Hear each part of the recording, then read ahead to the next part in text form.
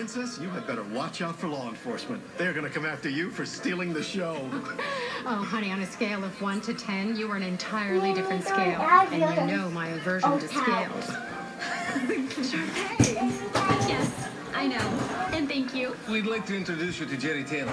He's a good friend of our family, visiting for the week. May I just say how wonderful you were? As many times as you'd like. I really see a unique talent here. I mean, a true gift. and your kind, true words are a gift as well.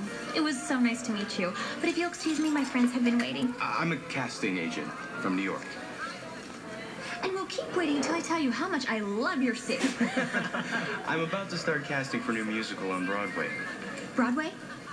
As in Broadway? Yeah. And I think that there is a perfect part. I would be more than happy to arrange an audition if you happen to find yourself in the Big Apple anytime soon. that would be. I would be. it would be like. The show is going to star Amber Lee Adams. No. Yeah. Stop. Seriously, stop. Who's Amber Lee Adams? She's only the most amazing performer ever. We have so much in common.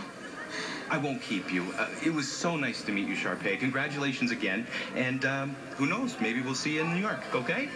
Congrats. Toodles!